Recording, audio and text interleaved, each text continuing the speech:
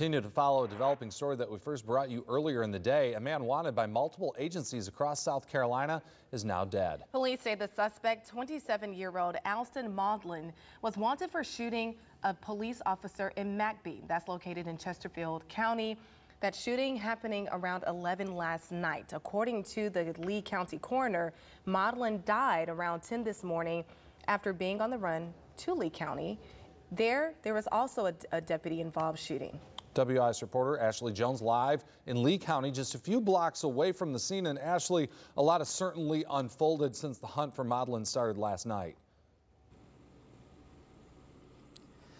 That's right, Greg and Billie Jean, and I've just learned um, some more information from Sem uh, Sheriff Daniel Simon just within the last 10 minutes here. I'm going to get to that in just a moment, but I want you all to take a look at the scene right now. Um, we've had to move back uh, pretty far. If you were with us at noon uh, this afternoon, then you saw that we were closer towards the scene. But again, we've had to move back since Horry County Police Department took over the investigation, and they've expanded that investigation to several different parts of Lee County. Uh, talking to the sheriff, uh, Sheriff Daniel Simon, again, he told me that, you know, this was was not just this scene wasn't just isolated to this area that we're seeing right now, but it kind of expanded into several different parts of Lee County. Now, all that information is continuing to unfold, but what we know right now is that this all started with that blue alert that was issued by the South Carolina Law Enforcement Division um, around 8 o'clock this morning.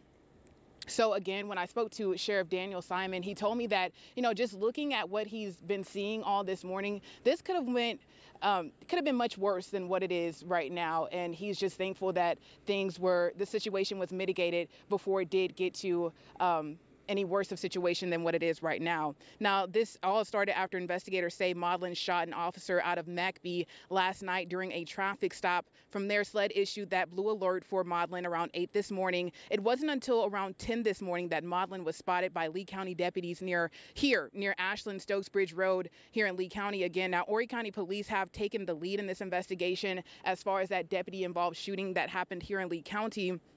They say a quote shooting incident then took place and Maudlin died just a few blocks away from where we're standing right now. Lee, Lee, County Sheriff Daniel Simon tells me at least one deputy was injured during that shooting. And now we're hearing, we've just gotten this confirmed that a canine died as a result of that shooting incident. The canine was not um, necessarily shot during that shooting incident, but just know that a canine did die uh, following that shooting incident this morning. Now, the extent of that deputy's uh, injuries are unknown at this time. I did speak to one man who lives on this road. He told me that Maudlin knocked on his back door just minutes after that shooting with deputies took place around 10 this morning. Listen to that. The time as I got to the back door and look around out the windows and you know see who was out there, and uh, he was gone. And then the police come and told me I had to leave for a minute. Something happened. And I went down probably about two or three miles down the street and sat till everything was over. And they called me and told me that he had got shot and killed out there in the field out there at the tent there. Also over in that field? Yeah, he laying out there.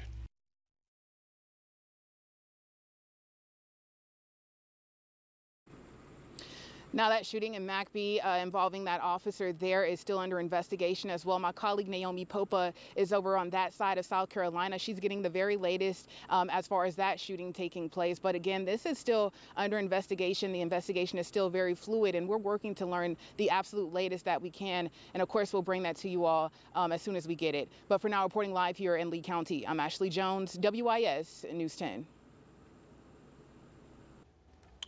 Ashley, thank you so much.